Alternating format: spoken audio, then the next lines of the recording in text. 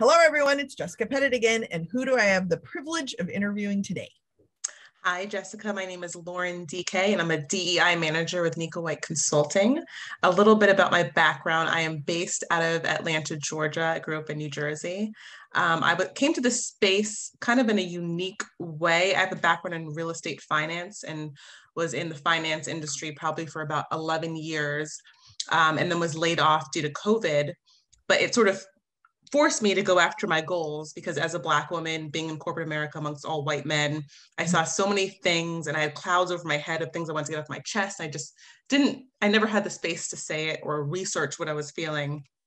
So while i was laid off i was able to take the dni um, certificate from cornell university and just network like crazy attend webinars like crazy. And through linkedin i um, met nika white who is now my boss in Equal Consulting, and um, through fate, kind of just was able to get a job with her company. So I'm relatively new to this space, but um, as a Black woman, not that new. so here we are today.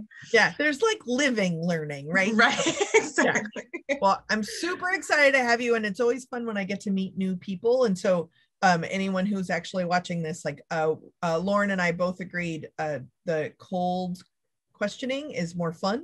So, like, Lauren doesn't know what I'm going to ask her, and I don't know Lauren. So, I'm super mm-hmm. excited. New friends, yay! so, the first two questions are big ideas that roll around my weird brain, and there's no wrong answers. And I'm just curious from your perspective and lenses and all of your experience from all the different places, is how they land on you, right? So, okay. that's your answer. So, the first question is literally around the term diversity dividend. The first time I heard this was when I was working with a client and they were like, well, what is the ROI of diversity work? The return on investment of diversity work, like, first off, is a throat punch. What a stupid question. But I do get asked that question quite a bit. So I'm curious in your world, uh, diversity dividend, how does that mm-hmm. land on you? What does it mean to you, if anything? Yeah. Um, to me, I'm like you, where people, when they ask the ROI, it's just like, to me that's a form of white supremacy because it's like what does it do for me? And how does it benefit me? And to me it's like okay everyone deserves equity and everyone deserves a seat at the table. And if you're not seeing until we see an equal amount of everyone and uh, equal perspectives there's a need for diversity. And there's there's no um i don't think there should be a business case explanation because it's obvious that you know it's we're not at a place where we need to be right now. Um but I mean, I think if someone were to like put a gun to my head and say, what is the, dividend? I think I'd respond by saying, obviously, when you have a diverse um, workforce, there's a diverse perspective and it opens up the doors of thinking in ways that you personally wouldn't think to think of. So for example, for Nika White Consulting, we just hired four new people and we have someone that is disabled. We have a white woman who, the first white woman with a company, and already the conversations, I'm like, wow, I never thought of that, and I didn't have that perspective. So that alone is rich and great for businesses. Um, I think also um, thinking about the future population and how they're saying that, you know, racially wise and even gender wise, there's going to be a ton of non-binary folks. So I think you need to diversify your perspective just to keep up with what the future holds and to be able to um, present a workplace that is going to be within their expectations. Yeah, well, and I appreciate you just naming how white supremacy is so rooted in the the motivation consciously or unconsciously behind asking the question in the first place and it's how white supremacy links to capitalism right? Is mm-hmm. that you're you're if we, if we're going to use capitalistic kind of language you are at a loss currently. And so anything you do is going to become more profitable because you are stifling people's talents and experiences in their own places. So thank you very much mm-hmm. for that. Yeah. Second question is more about your actual uh, experiences in any of the jobs you've had etc and that is asterisks other duties assigned. So I've noticed some people, including myself, I will intentionally do extra things that I'm not paid for or rewarded for, evaluated for, because I'm trying to form a community so that I can live or thrive or survive. And mm-hmm. others, are being hoisted onto me because of different identities I have where I'm not being paid for my emotional or physical labor, which feels like other asterisks, other duties assigned. Mm-hmm. So, in your mm-hmm. experiences, do you have one of the positive or the negative kind of situations you'd like to share, or how does that land on you? Other duties assigned? Yeah, I think um, unfortunately in my past work experiences, they've all been sort of negative. So, for example, um, you know, whenever the reason we... we're both self-employed, right? yeah, exactly. I get it. So I think um, being an African American woman, it was always the insinuation that I should be part of the ERGs.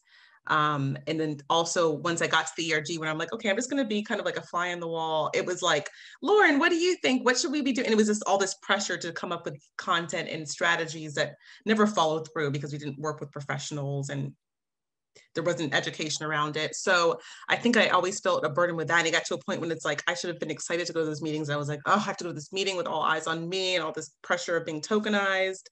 Um, I think also just working with all men typically, I could have the same position. I was um, an investment manager slash asset manager for my funds, and another man was on that fund. But when we would go to meetings, it was always like, "Oh, Lauren's gonna do the note taking and the recap." It wasn't in my job description. I wasn't a secretary and administrative assistant, but because I was the woman on the team, and they would kind of coax me like, "Oh, you're so organized and you you're better at multitasking." But it was kind of like I feel like I was stuck with that because I was the woman on the team this is a, a I so appreciate you sharing that because people don't necessarily understand that it's not just because I'm multitasking or I'm more organized, right? It's that as a woman, I have had to do these things. Mm-hmm. And I don't even remember now who told me this, but this worked great. But I was on a board and I was one of the few women on the national board of directors.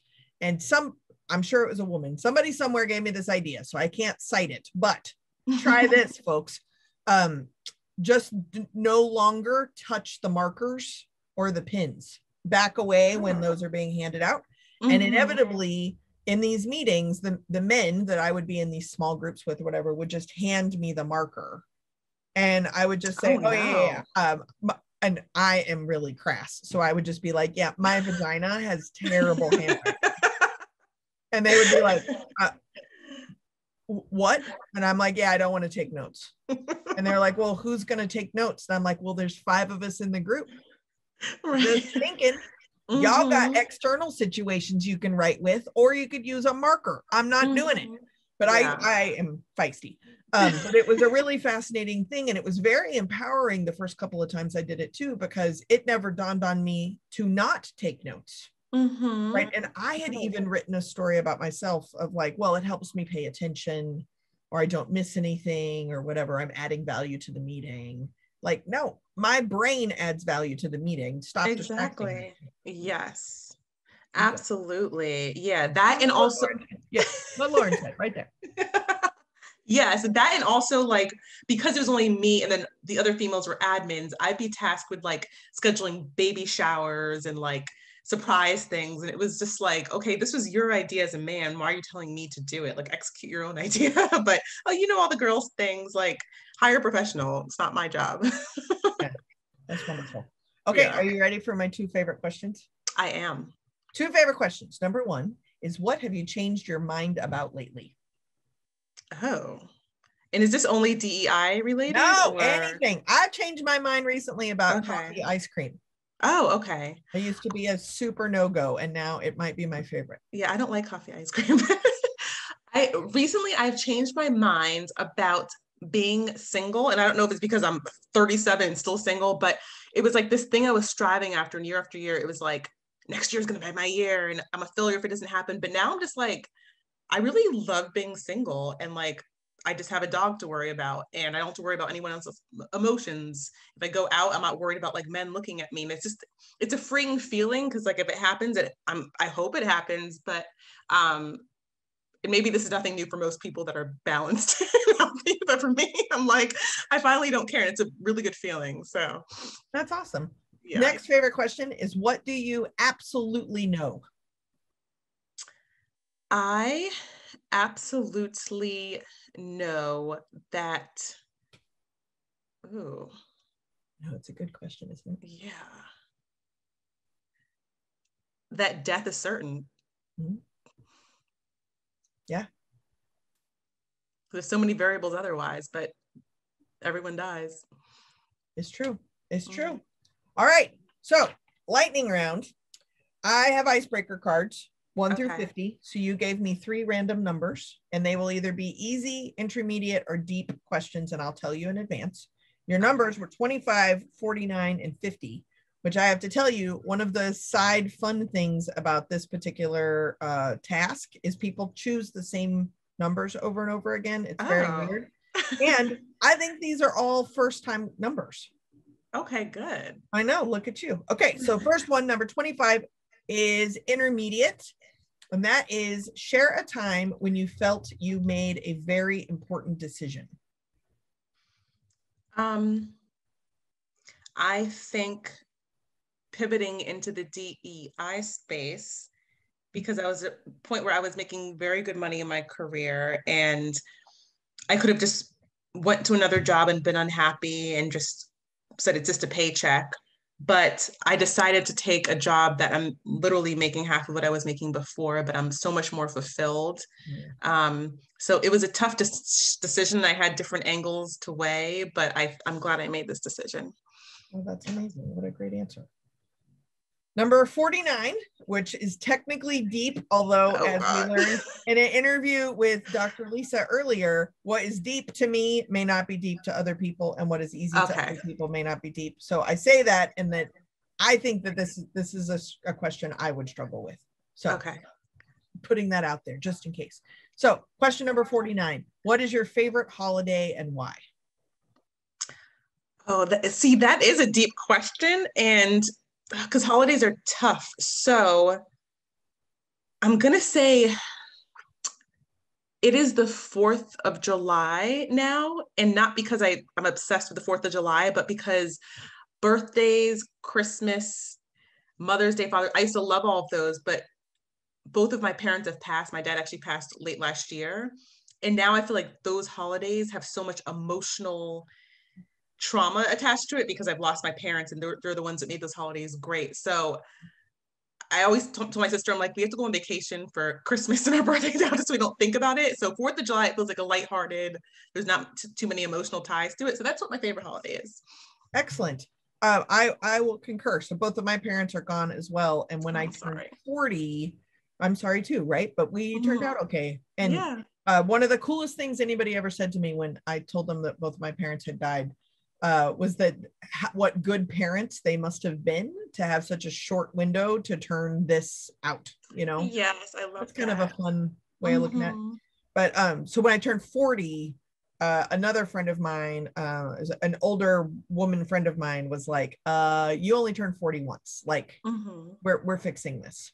And um, I'm sorry, it was 30. So when I turned 30, she's like, "You have to have a birthday cake," and I was like, "No, no, I don't have a birthday. No, no, no." And she's like, "You are 30 years old. Your parents would be proud of you, and don't like." I, she helped me like reclaim birthdays Oh, yeah and then my partner and i our favorite holiday is new year's because we're like big goal people so we like check in Mhm. about last year and this is it's it's fun yeah, yeah, I love that. awesome okay and go on vacation when you want to okay so number 50 also deep is what three words would you most like said about you I would most like said empathetic, vulnerable, and inspiring. excellent that's great well lauren if people wanted to get in touch with you how would they go about doing that So they can get in touch with me via LinkedIn, and I know you're going to share that link. And Mhm. also, um, Lauren at nikawhite.com is my email address. Excellent well thank you very much for trusting this process making a new friend Yes, and uh, expanding our network of doing DEI work. So this has been wonderful. Thank you so much. Absolutely. Thank you.